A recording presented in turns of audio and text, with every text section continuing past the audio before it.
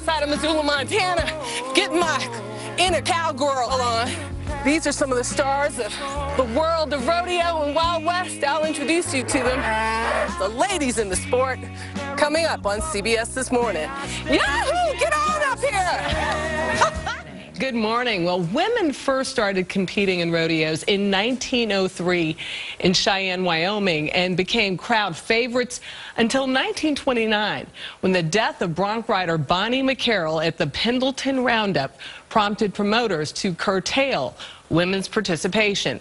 Nowadays, women have their own rodeo association, but being a cowgirl is more than competing in games. It's an entire way of life.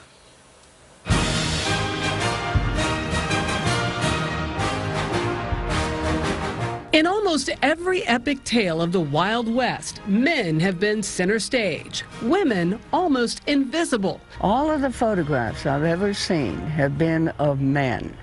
Well, that's only 50% of it. Where'd they think the men came from? You know, it wasn't the Immaculate Conception. Women were a strong force on the ranch and the range, from Annie Oakley to Supreme Court Justice Sandra Day O'Connor. And they still are today. There you go. Women like rancher Barbara Van Cleve, who's been photographing the cowgirl way of life since she was 11 years old. You shoot everything on top of a horse? I'm so short that it helps to get a little elevation.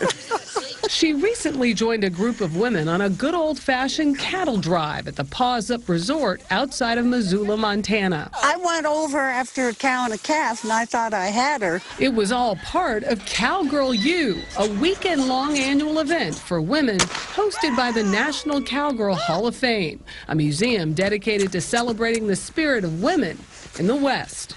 We've had women who are interested in history, um, but primarily our biggest draw is those folks who want to know about the honorees. This, this is the best teaching you will get is right here. Just hop up there. He's not going to move. Guests come to meet honorees like five-time world champion bronc rider Jan Youren. Now throw your chest at him and tuck your chin. There you go. Am I doing it? Now he's rolling. Youren rode bulls and horses from age 12 until she retired at 63, along the way collecting an impressive record of injuries. How many broken bones do you have? Uh, would you rather ask how many I don't have? That'd be a lot better. I have one rib that's never been broke, and I've never broke either leg. Other than that, I think you can pretty well cover it. You won a championship with a broken back? Yeah, I did in 87. But I was too dumb. I didn't know it was broke. I thought I was just being a wimp. Up, up, up, shooter. Lindy Burch knows her way around a shotgun, but made her name in the male-dominated sport of cutting horses, where a rider uses a horse to separate a cow from the herd. It's a critical skill for any rancher bringing cattle to market. When I start cutting, I wanted to be the best. And if you wanted to be the best, you compete with the best. And the best all happen to be men because there wasn't any women in it. You weren't striving to break down or to break through the glass ceiling. No, women's lib wasn't a big deal then anyway. Probably was. I didn't really recognize it because I always thought you liberated yourself. In 1980, Burch became the first woman in the 100-year history of the sport to win the National Cutting Horse Championship. If you work hard and you're good, you can gain anybody's respect. So are we going to shoot? Yep, we're okay. going to shoot. A critical tool for women in the Old West was a gun.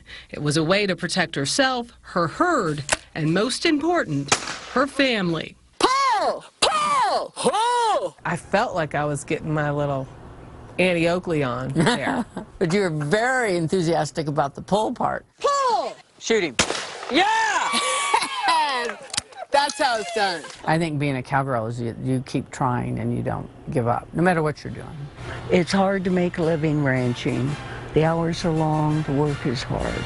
But it's the greatest place in the world to raise a family. You can be a cowgirl. I, I can. I think maybe they ought to make you an honorary member. Mm-hmm.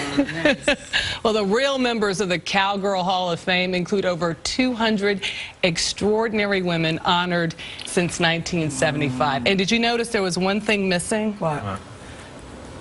Yeah. Nice. I did not nice. have a hat That's now I one. do. I'm finished. But Michelle, awesome. I was wondering, at one point you said to the horse, uh, get on up here. Did the horse understand that command? I'd never heard that before. Get on up here. I like the cowgirl who said, though, if you work hard and you're good, you can get, you can earn anyone's respect. And that's so true great, in all things. uh, True in all things. Great All piece. things. Nice. Thank Love me cowgirls. All right. Up Yeehaw. next, the most unforgettable moments